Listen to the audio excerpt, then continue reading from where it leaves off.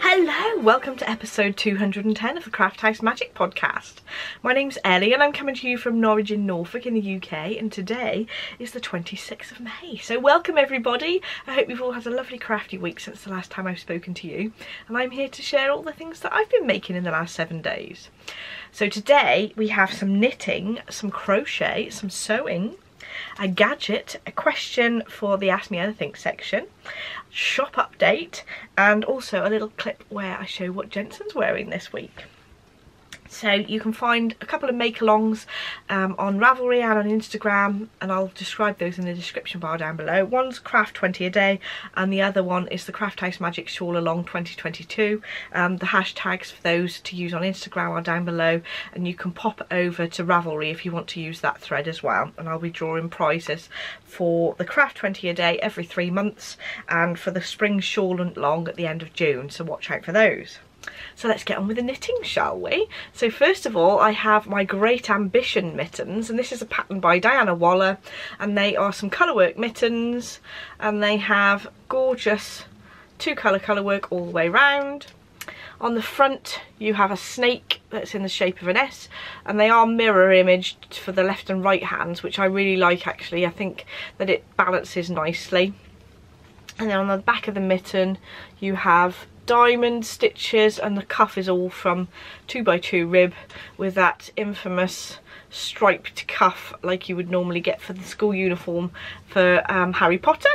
And I do like the detail of the thumb. You have the diamond shape on the inside and that S detail on the other side. And you have two different charts for the left and the right hand um, but of course if you wanted to have the S rather than in a mirror image on both sides you could easily do that. Um, it's charted, the instructions are charted which I find really helpful, really nice and easy to read. And, and it's this is knitted in some Jamieson and Smith. And it is colourways 65 for the greeny blue and colourway 203 for the grey. And I have this much left so the first mitten, I had some green left over from another colourwork project and I thought, oh, maybe I'll just have enough to finish it. And I used 17 grams in the first mitten of the green colour and I think it was possibly 10 of the grey. There wasn't enough left of that skein to finish the second mitten, so I just bought a whole new skein and started it from scratch. But actually, if you look really closely, there is a bit of a colour difference. There is a little bit more sort of a turquoise shade to this greeny um, colour, but I think they go really nicely still, so that's okay. I'm sure Adam won't really notice, really. They'll keep him nice and warm. So the moral of the story is don't try and use up yarn when you aren't really sure whether you've got enough. and make sure you buy the whole project's worth of the same colour in the same transaction so that you know that there's the same dye lot. This would help, wouldn't it? so I've got them on some mitten blockers. I got mine from Woodico I'm afraid Woodico isn't running at the moment because it is in the Ukraine, but it is a lovely company that do these beautifully cut um, wooden blockers for mittens and also for socks as well. I do have a sock pair. There is a separate piece that goes in for the thumb which is really useful because some of these mitten patterns the thumb is at the front and then sometimes at the side so you can use it in either direction. Um, so that's really helpful to have that separate. It does have a little hole. It did come with a little ring to keep them together. I will leave a link to the website, but like I say, it is closed at the moment because they are in the Ukraine. A couple of things I'd like to say about the pattern. So the pattern calls for 2.25 millimeter needles, but I used 2.5 millimeter needles because I know I knit my colour work quite tightly and 2.5 millimeter needles, it makes a nice tension of the work for me for four ply yarn and I knew that around about 60 stitches for a mitten and 2.5 millimeter needles is the right size for my hand. And these are for Adam but we have quite similar size hands so that's easy to sort of work out that it would fit. The pattern is quite easy to follow mostly if you can follow a chart it'll be nice and easy. And um, the only thing is it's a little bit fiddly working a chart on on the thumb but if you just take it nice and slowly it's it's still quite easy just a little bit fiddly there so another good tip for this pattern is that when you get to the top here and you've only got a few stitches left, rather than what the pattern says is run a needle through those stitches with the yarn that's left, um, I actually did a Kitchener stitch from the stitches on this side and the stitches on this side to give a nice even finish there. And I also did the same for the thumb as well just to neaten it up because I think it gives a nice continuous look to the top of the mitten and the thumb and I suppose I should show you what they look like on really as well as just on the blockers. There we go. I did actually this time I blocked them. I completely forgot that the first time I blocked the first one because I did I blocked one separately just because I wanted to see what it looked like. What I did is that I didn't soak the cuff area as I was soaking the rest of the mitten to block it. And that then meant that it didn't stretch out the rib on the wrist here which I think is nicer because it clings to your wrist a little bit better but I completely forgot. I just bunged them in the to soak and I did end up blocking out that rib a little bit but it still clings quite nicely to my wrist. So that's what they look like and Adam is very excited to wear them although the weather's warmed up now so but at least they're ready for next year. So my next object I wanted to show you that is completely finished is a little cardigan. Now this is the Playdate cardigan by Tin Can Knits and Liz knitted most of this um, but I did pick up the stitches and do the ribbon around the neck because she hates doing that bit. And I also added some little black buttons because the black will coordinate nicely with the little faces that I was going to put on to the little pockets. And I'm so pleased I did. I think that they've worked out really nicely.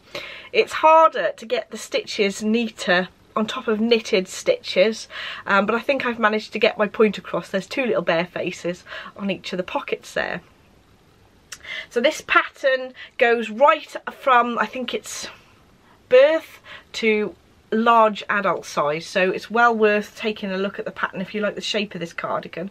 I really like that it's sort of v-neck. I like that sort of shape. Also I was thinking that because it doesn't go right under his chin if there is dribbles it'll go on the t-shirt and it'll be easier to wash than cardigans all the time so I've knitted this in some merino and nylon 4-ply yarn in my chocolate colourway and it's a sort of pinky shade of brown. And I really like how it's turned out with those little faces on. I got the idea from seeing a jumper with the faces on in the middle of the jumper but actually when it's for the cardigan I thought it needs two to balance it out either side. Um, so there we go that's Jensen's new little jumper or cardigan. It is the 6 to 12 month size that we've knitted. I say we because Liz did some and I did some. And I'm going to see whether it fits him. I will save Jensen trying it on till the end of the podcast in his normal section so that you can see whether it fits. And I haven't tried it on him yet, so it'll be exciting to see. I blocked this cardigan a week or two ago and I actually did record how I blocked it. So this is among the few things that I blocked at the same time so that I could make a tutorial on how I block, um, how I wet block things anyway.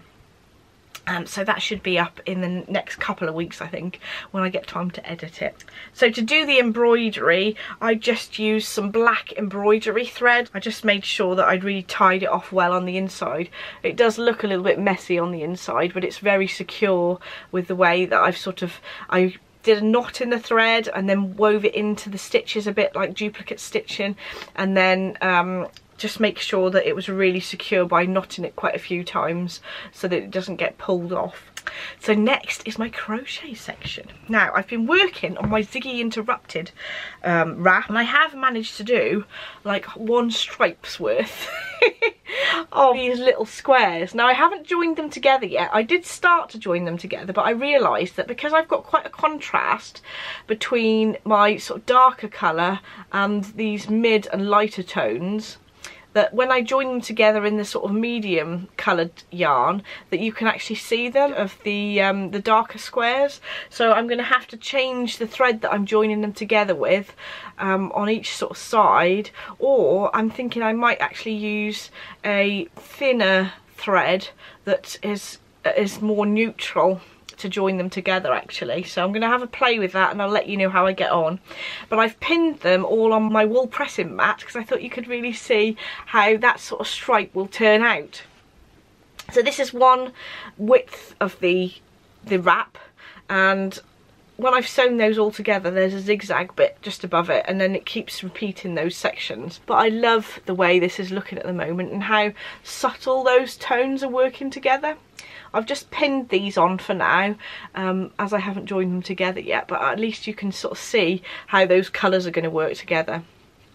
I tried to choose quite sort of neutral and not too brightly coloured yarns for this because I thought that I'd like to see sort of subtle differences in the different little squares and it not be too brightly coloured so that I can wear it with lots of things.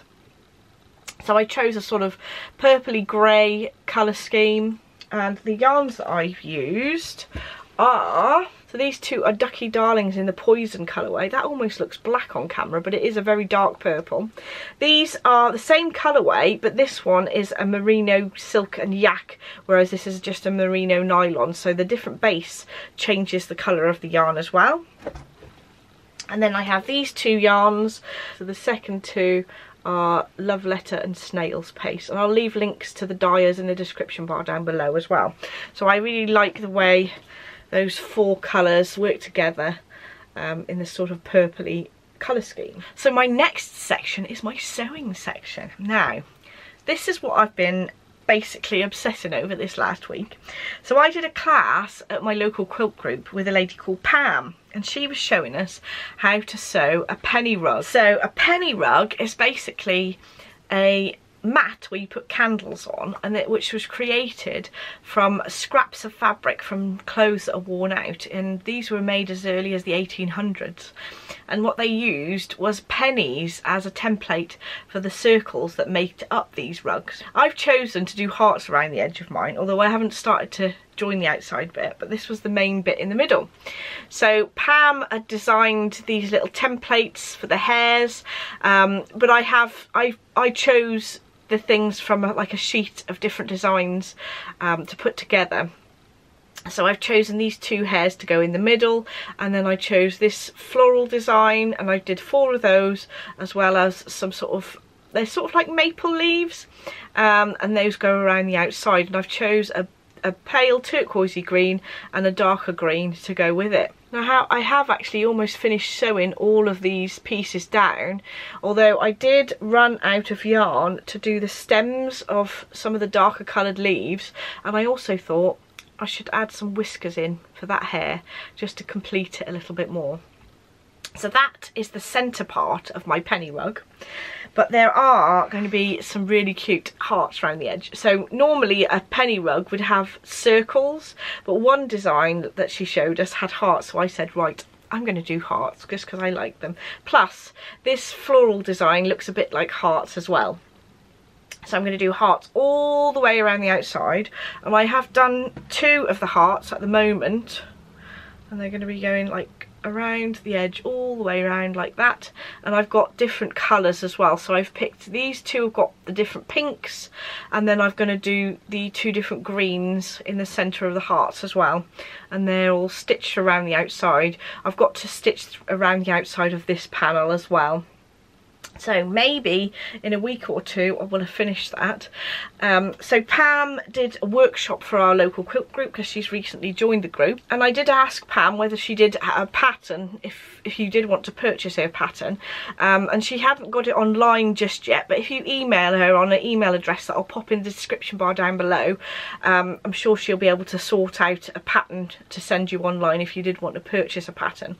Now this one is the one I've sort of picked the different shapes shapes and put them on there but I will pop a picture on the screen of one of the ones or of a couple of the ones that Pam had as examples that were really lovely. So first of all there was the one where she'd done a hare as well but there were different items different flowers around the hare that she'd made. And um, she also did one that was a sheep and also one with that was a different shape like a rectangle that could be used as a wall hanging that was a bee one as well which was lovely so if you want to get those patterns if you email her, Pam on the email address I've left in the description bar I'm sure she'll be able to sell the pattern to you anyway I'm getting on really well sewing these. It's quite handy to have a small little sewing project that's around when you're looking after a little baby because I'm every time he's busy playing for a few minutes but playing on his own I can do a few stitches and get quite a bit more done um, than I would normally if I didn't sort of get a few stitches in here and there. So I just wanted to mention where I got my felt from because I used a wool mix felt and quite a lot of it is from a shop called Paper and String because I really like this mottled effect of felt. Um, which has got quite a good wool content in as well. And that was paper and string. And I also got a few little pieces from my local sewing shop as well which is called So Simple in Taverham so I'm going to go on to my gadget now. And this is linking in to the embroidery things that I've just showed you. And I thought I'd show you where I keep my embroidery threads and keep them in colour order because that's just that's just what floats my boat so I keep my embroidery threads in these boxes and I have spent quite a lot of time getting them in colour order so that it is just quite satisfying looking at them and I've got quite a few different boxes like this. I have one with pinks, oranges and yellows in. And I think there's more of a random selection in this box. Um, they're not quite full. They're so purples and beiges and different colours like that. So over the years I've picked up these little spools of thread from charity shops and um, if I've purchased embroidery thread myself, I've popped them on one of these um, to put all together in these containers but a lot of them are actually from charity shops or car boot sales and things because actually that much thread actually buying that much thread would cost a small fortune. So I've got those three with a lot of the colours in and then I have a smaller one that I take if I'm out and about with the ones that I'm sort of using more currently um, which I find really useful as well because you don't really want to be lugging big ones of these about all the time especially if you're not quite sure what colours you need and I have to take all three so that is the gadget for this week I will pop a link in the description bar down below where you can get them but you can get them from most sort of craft shops um, or I think Hobbycraft sell them as well these sort of plastic boxes I think I got them from my local sewing shop um, when I started to collect quite a lot of them. So the next section is the Ask Me Anything section and I had a question about where I keep my knitting needles. Now, I have a couple of sets that I've kept actually in the bags that the needles came in. So the first one I purchased was this one. It's a HiyaHiya needles set and I did originally purchase all the small sizes, so they come in small, miniature and large, these needles, um, but you can only get the sets of the small and large in terms of the full set of needles, and there's quite a few missing out here because I've got them in various knitting bags. Um, but the interchangeable tips fit nicely all in these little compartments here and then I have added some of the larger sizes because I don't really use the larger sizes needles too much so I haven't bought a separate set of those. But I have used the sort of five six seven millimeter needles so I've popped a couple of those into this case as well where that actually just included the small size needles before. So in terms of HiyaHiya needles the small size range comes from goes from 2.75 millimeters to 5 millimeters. Um, so there's a couple of extra of larger ones there as well so in the back here there's a place to put your cables in and I've also got a needle gauge the ones that I sell in my shop now come with a shape one actually. This was the one that I bought at the time. And I bought this a long, long time before I started stocking HiyaHiya needles in my shop actually. So I know that um, they're really durable and they work really well because I've had these quite a few years. So after I'd been using that quite a long time and I've started stocking um, other needles in my shop, I purchased, I, I, I've basically stole it out of my stock. But this is the, the miniature set, which is for sock knitting. And the miniature set of needles goes from a 2mm needle up to a 2.75mm needle. So you have those needles in there. And I have got a couple of sets at, that I have got in use at the moment. So I haven't got them in the case. Um, but those have interchangeable cables as well that are kept in the back and that's what that's the shape um, needle gauge that comes with the ones that I sell in my shop now. Um, but I couldn't resist having those because I do like the interchangeable sets especially these miniature ones because the so the miniature ones go up to a 2.5 millimeter needle and the cables are a little bit more supple. They're a pink color um, so I do like that. That is a, a, little bit more supple than the blue one. I do like the blue ones as well, but they're even nicer. Plus they're a cute little pink colour. So those I like to use. And um, the 2.75 millimeter needle in this set, even though it's the miniature set, is actually comes under the the, the small needles um, so that there's some adapters in here so that the 2.75 millimeter needles fit on the tiny thin cables which is really nice. So this is my sock needle set. So I also keep my older long needles in this case that I made absolutely years ago. It's just a wrap um, with a button to close it up. And this was just some Moda fabric I had years ago. And a needle has already dropped out of it. So these are the really old needles I've had for years. There's some that were my nan's needles I think. Um, although she didn't really knit very much the nan I got um, these needles from. But she did have a couple of sets of needles which my mum inherited. I think that they were these ones here with the little red tips on um, but that's some of my old straight needles. And then I have another case where I keep some of my DPNs in. So this is another case that I've made for myself to keep um, some DPN needles in and it's just made out of some calico because I like the natural look. So there's quite a few of these needles missing because they're in various projects. So I've got the different size DPNs on this side and on this side I've got some of the needles that are a bit sort of more unusual like the 12 inch ones for doing sleeves and ones like that so the packets can just sit nicely in this case. So in terms of my sort of fixed needles. I just have a bag I made absolutely years ago. And this was a free pattern um, from the internet somewhere except I added a salamander applique onto the side. Um, not quite sure why I chose a salamander but there we go.